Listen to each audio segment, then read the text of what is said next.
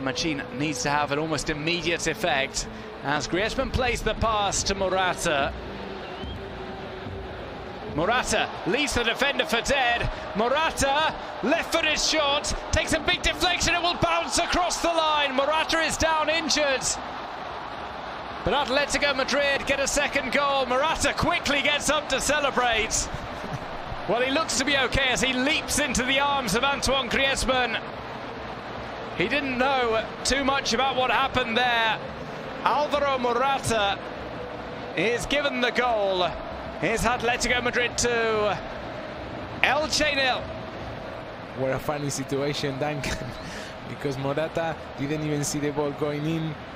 He was uh, in pain and suddenly jumping and celebrating. They secured the, the victory with 15 minutes left. Well, Alvaro Morata says, is that mine?